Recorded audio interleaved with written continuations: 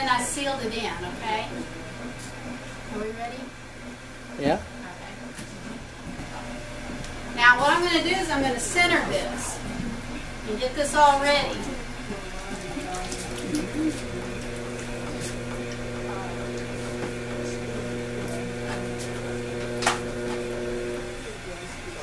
There's nothing more important out of any of the things that you do is this centering. Centering of this would be the most important thing that you figure out how to do. And this one takes a long time for you to figure it out. You either pick it up really quickly. Look at Dina, she's like, uh-huh. I still have problems. The one trick that I'll tell you that my dad does, my dad will he'll he will throw and he uses both his arms like this because he's a man and he knows how to do it this way. I can't throw like that. I'm sorry, I just can't. So what I do is I cheat. Since I use most of my back on anything I do, and uh, most of my muscles and stuff is from the center of my uh, center of my body and everything, I put my elbow right up against that hip and I'll lean in and I'll use my hip and my back to apply pressure onto the clay. I'm not exerting a lot of muscle arm, arm muscles. I'm not exerting a lot of things. I'm using my hip and my back to move inwards. Okay? This is usually what I teach my other students to do and everything when they all learn and stuff like that. You'd be surprised how quickly the girls will pick it, pick it up and start doing that. Alright? Now, another thing is, is when you are centering, the important thing is, is to learn to float away. Okay? Because I'm telling you, if you turn around and you center like this, and then you jerk away, look what happened. Is that center? You're beating yourself up if you keep doing that. So you learn quickly to float away.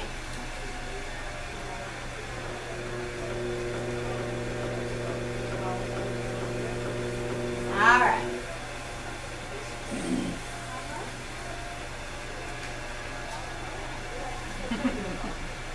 and you'd be you'd be surprised how many people does that. I mean, they really do. They do a lot of it.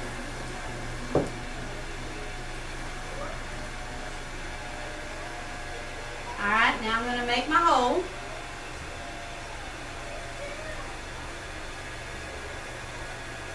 Now, if you had clay that was not centered, your hole will not be even. Because when you do uh, when you do this and you try to do an uneven hole, this is what you get. Okay?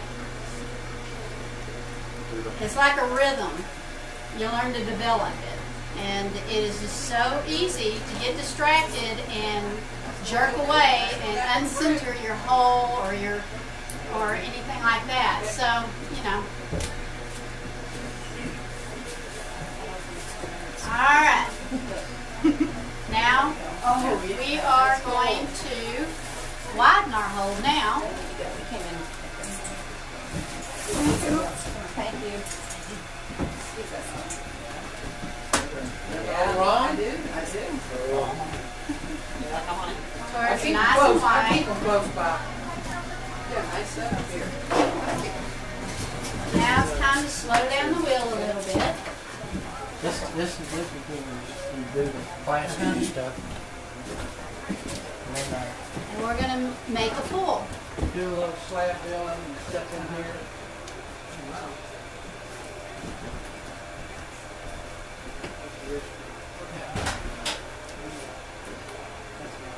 Workshop. We did a slab building and stuff. I believe I was-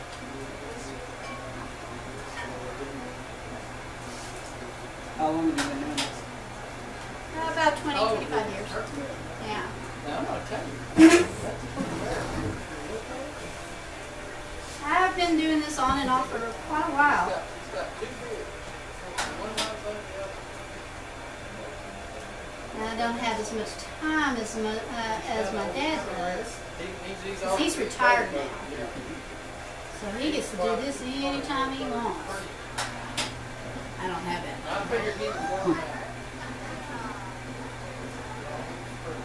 Sure they can.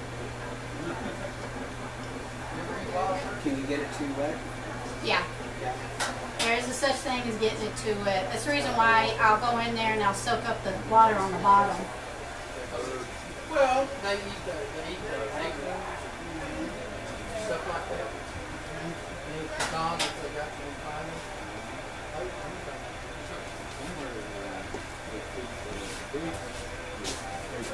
Yeah. Yeah, oh yeah.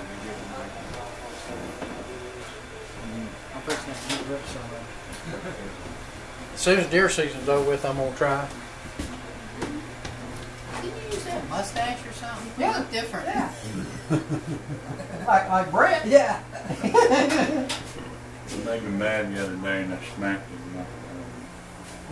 Snap the plum off. Smacked half of it off and had to shave the other. Oh, I believe he made you mad. He's mad about that. All the time in the world now, I'm retired. Can't mess with you no I- more. Get out of here. Leave me alone. oh no, please stay. Aggravating some more. Aggravating. say That was my give- job. Gives him more time to make me stuff. Y'all can do that.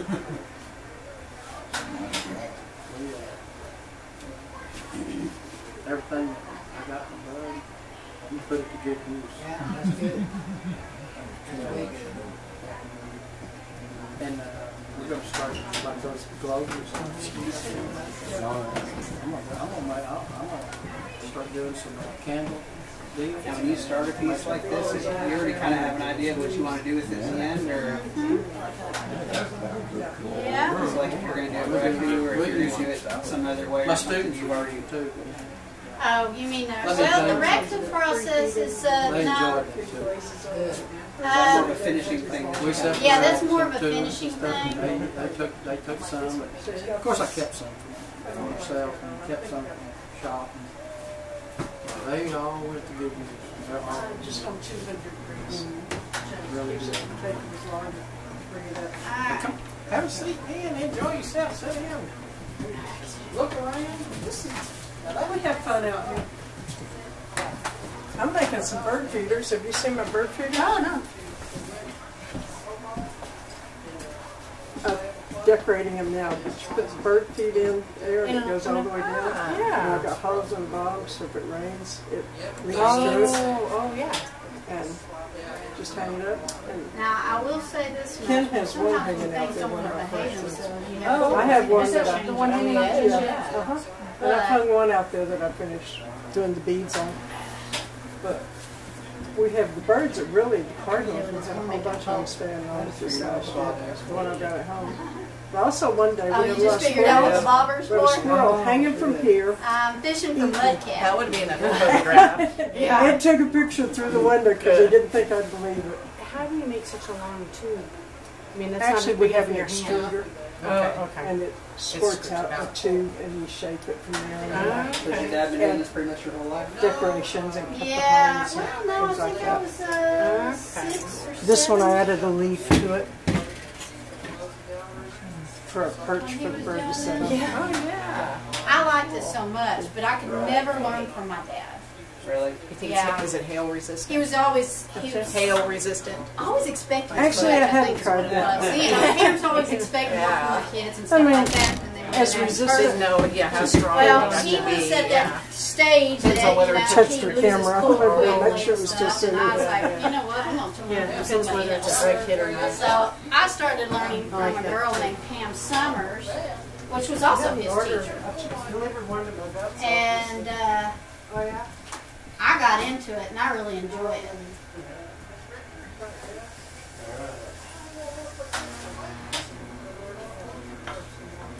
Now what I'm doing is I'm trimming off this excess so I don't have to deal with it later. Some potters will leave that excess on and then when they make a foot they'll they'll turn around and try to trim it off. Me, I'm sorry, I'm impatient and I just don't when I want my pots off of there. I want them to look finished. So, yeah, I'm one of those impatient ones that uh, does that. Okay. Now, is that a bubble in the side of it or something? Ah. Yes, it is. Great. See, that's this one. Now, maybe it'll shrink down and I'll try to poke a hole. The bad thing about bubbles, and I'll let you know right now, the bad thing about bubbles is that if you try to fire it, Mm-hmm. it'll bust that piece out. Right. Yeah, because it's gonna leave a giant airspace in there. Yeah. There, right? Sometimes it'll they'll, it'll cause them to bust to pieces all over the place, but if they got away from that air to escape and stuff, you can pretty much.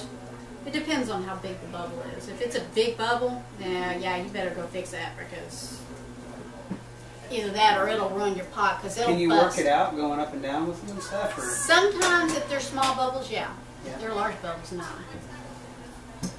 Large bubbles will cause them to blow up in the kiln. Because you're talking about trapped air that is uh, uh, turning into gas. it'll expand the hotter it gets. Yeah, well, the thing is, is when you, it, it does, it, it'll cause it to try to expand, but your clay is trying to shrink. So, yeah.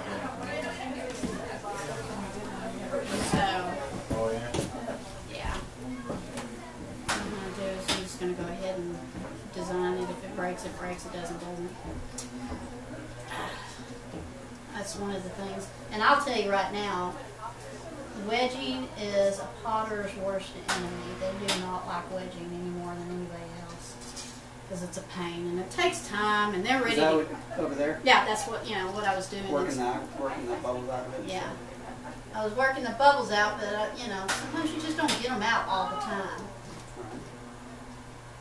Another thing is, is it depends on who Probably does depends it. on the clay too.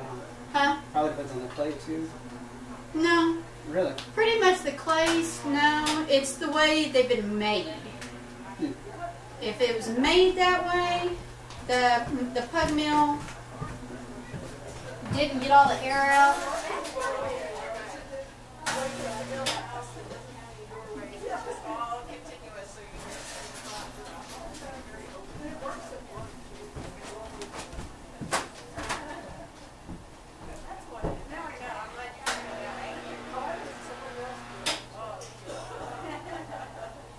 Kind of covered up that hole so that way it could get another.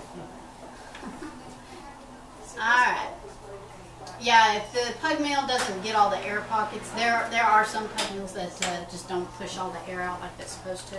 what it is is it pushes all the clay into a ball where they can slide it into the plastic and stuff. But uh, sometimes it don't work out that way. We used to make our own clay for a long time.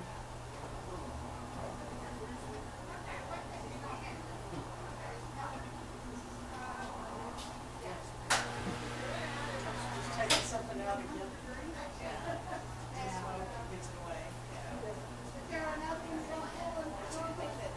There we go. I don't put all the other fancy designs because I'm trying to get away from my dad. I mean, don't get me wrong, I like his technique and styles, but you know, I like my own designs too. Now, what I'll do is because this is a bowl, I'll usually fire this as a cone 10 because I have never found raku bowls, a cone 10 or a cone 6 that's food safe. Okay. Okay, your raku out there is not food safe. Gotcha. So, and this is. This will probably, well, it will be. Um, the reason why I say that is because I have never found the use of uh, a raku bowl. I mean, if you can't use it, then what's the point of having it? I can understand, you know, bases and stuff like that being pretty designs and everything because I guess I guess it's because I'm used to it and everything. But as far as bowls, those are some that everybody uses all the time, so I just don't find the purpose in it. Oh, great. Alrighty, there we go. Great.